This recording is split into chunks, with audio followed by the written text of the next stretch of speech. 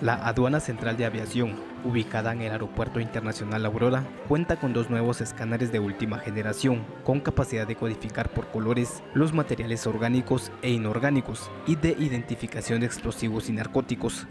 Como director también de aeronáutica les digo gracias porque ahora nuestros usuarios realmente vamos a tener una agilidad y vamos a tener procesos más, más fáciles para, para poder dar un buen servicio y que esa primera cara esa primera puerta que va a entrar nuestros turistas y los usuarios de, Aeropuerto La Aurora va a ser de bien, va a ser ágiles y va a ser una muy buena experiencia.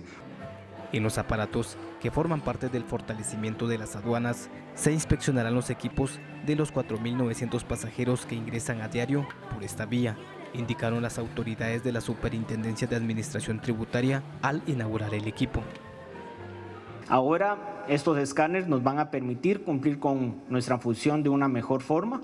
y algunos elementos del por qué son importantes. Son más de 40 vuelos los que vienen diariamente a este aeropuerto. Son más de 4.900 pasajeros que pasan diariamente por estas instalaciones. Esto de alguna forma hace que sean más de 140 mil pasajeros al mes. Este equipo proyecta un, un haz de rayos X donde se detecta densidad y composición de diferentes áreas de este, captura variación de los rayos X a través del mismo y digitaliza la imagen en dos dimensiones,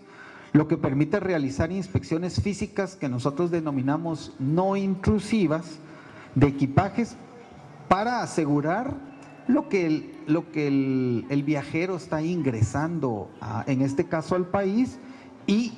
si es que hubiera un pago correcto y oportuno de impuestos.